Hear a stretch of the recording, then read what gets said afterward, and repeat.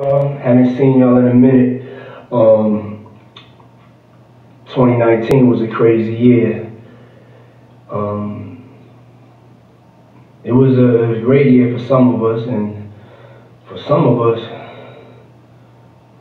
that shit was really, really, really hard, man. It was a hard year.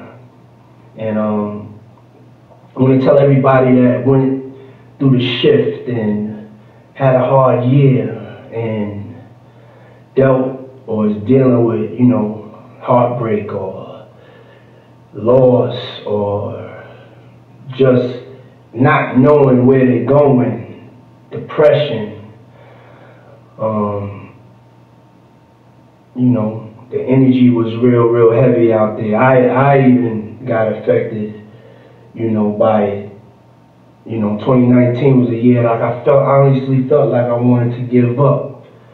Um,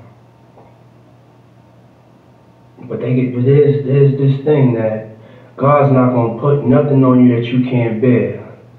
Um, for a whole year, I would have to say like I went through a, a real like state of dark depression, and I'm telling y'all this because I had so many people to help me, to help lift me up.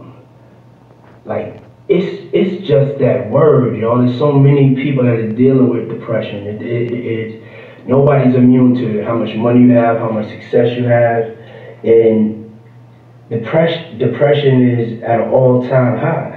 And even I've experienced this year, it this year, and I just wanted to really say before we go into 2020, we got to go into 2020. We need each other. We got